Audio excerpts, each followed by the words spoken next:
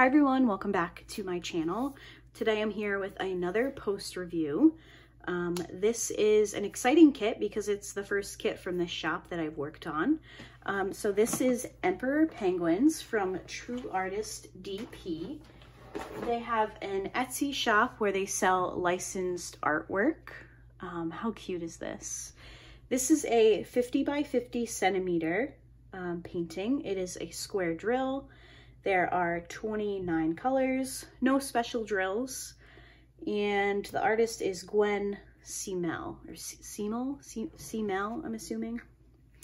Um, I was really excited to work on this kit. I've had it in my stash for probably about a year, honestly. Um, I think pretty early on when this shop opened on Etsy, I went over to see what they had and I really liked this painting. I thought it was super cute and I ordered it. I have not purchased any anything since. I really wanted to try this kit before I went over and made another purchase. Um, and I have some thoughts. So let's start with the things that I really enjoyed about this kit. Um, I think the square drills are great. I think, I mean, you can see, I do multi-place, so there are some spots where you can see some gapping, um, but that's definitely a me problem and not a drill problem. I think the drill quality was great. Um, the poured glue was fabulous. I didn't have any issues with super like slick spots. Um, I really liked how the glue held on to the drills. There was also a surprising amount, like a mix of confetti and color blocking. So, which is, is perfect for me in a painting. I like a healthy dose of both. Um, but you can see like over here, this is all the same color. But then when you get up to like this colorful background, there's more color changes. And I think that that's great. I, like I said, I enjoy that. It keeps me like interested in the painting when there's different, uh, different things happening. Um, there was one thing that I found interesting and it was like in the middle of the canvas, I will put a picture in here, but there was the canvas code and the size was printed in the middle. Um, and it, it kind of, it overlapped with some symbols. So I was able to decipher what those symbols were, but the printing was over the symbols, obviously. And I've just never seen that on a diamond painting before. And I don't know. Um, like I said, this was a pretty early run from True Artist DP, so that could have just been something that they had going on at the time. I have not seen any of their newer kits, so I don't know if that's a normal thing. Um, it doesn't affect the finish for me because, like I said, I was able to decipher the symbols um, underneath the printing, but that's just something that I wanted to point out for you guys. I just thought it was interesting. I've never seen it before. Um, but now let's take a quick look at the drills.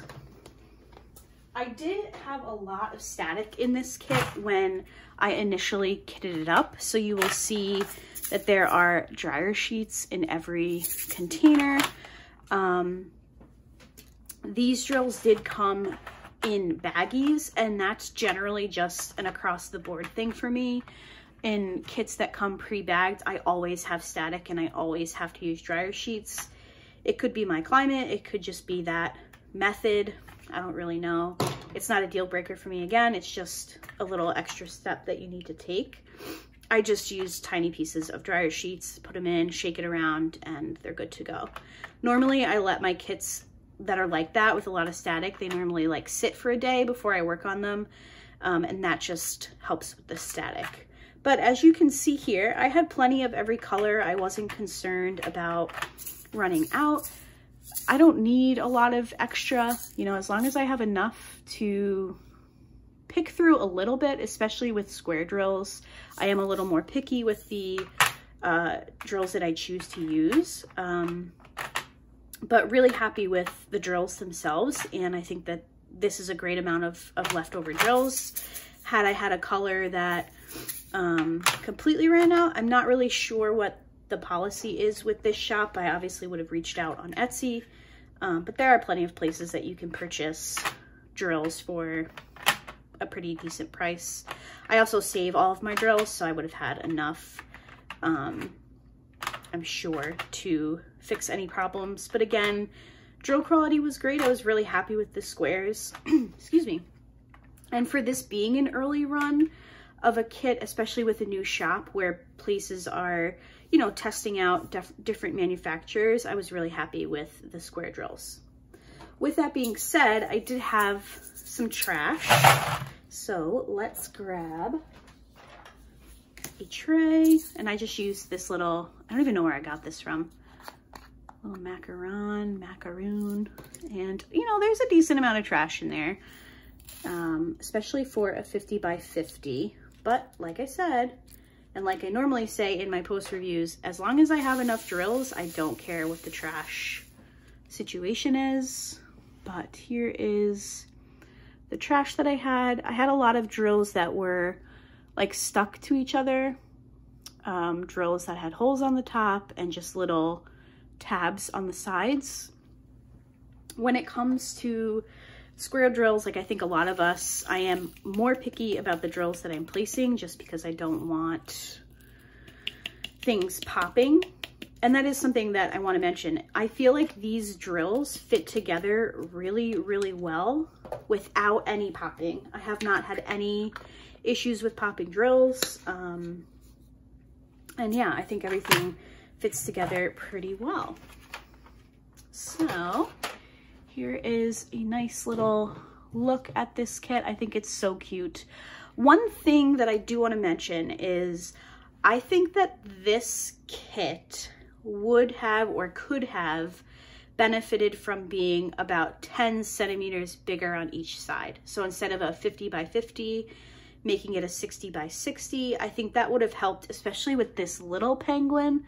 Had they have been like a little bit bigger, I think there would be less pixely colors.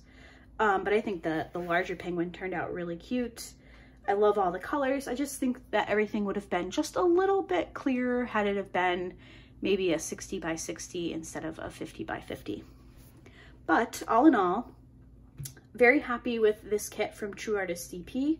I am very, very interested in trying out some of their newer kits. They have some really beautiful kits in their shop, which I think are relatively new.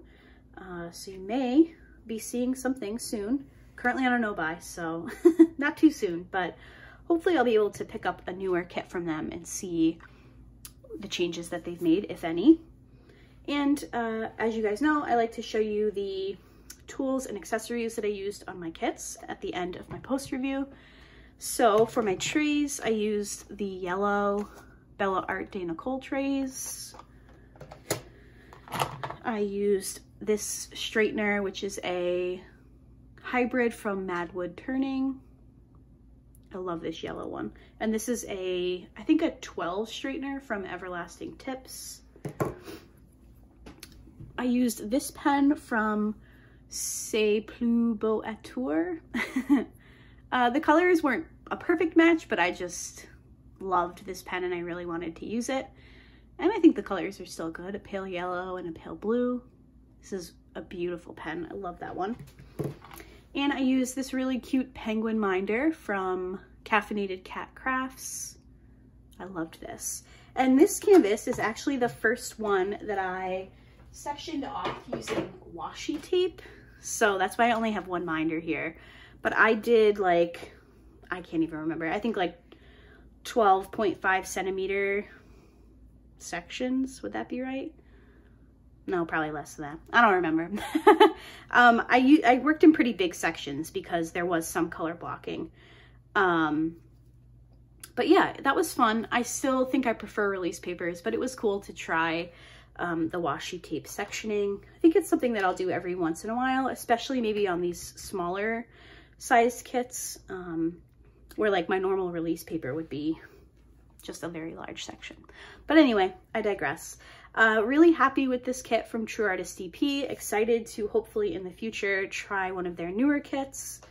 Um, and yeah, I hope you guys enjoyed this post review. Uh, let me know your thoughts down below um, or if you have worked on a kit from this company. And I will see you all in my next video. Bye guys.